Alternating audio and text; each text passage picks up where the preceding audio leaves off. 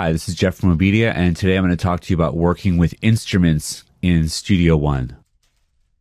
So, over here on the rightmost area, you've got your browser. And this is where, of course, we can look at our instruments, uh, effects on the system, any sounds, files related to this project. But today we're going to focus on instruments. So we go back over here.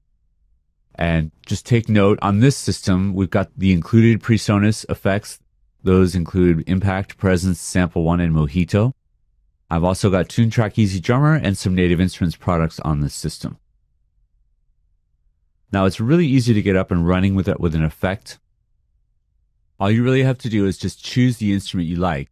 Maybe drill down to a particular preset and drag and drop. And you can either drag it over this empty area where your audio would typically go or over the track area.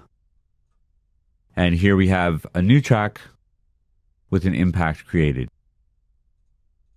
And now at this point, if I want to try a new preset, I'll just click the preset dropdown. As you can see, I can stay in this list and just keep trying different sounds as I'm playing. Notice that the drums are changing behind me to show that the actual set is changing. Now, if you want to get rid of this plugin, just simply click on the select device button in the upper left hand corner.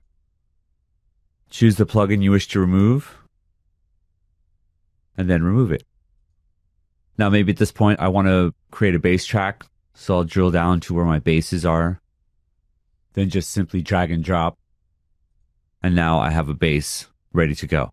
As you can see, it's really simple. It's really easy.